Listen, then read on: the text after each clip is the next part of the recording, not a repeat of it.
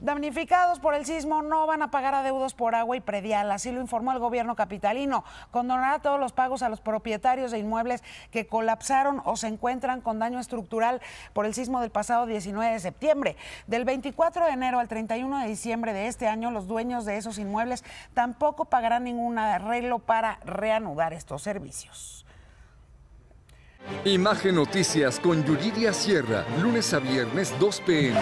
Participa en Imagen Televisión.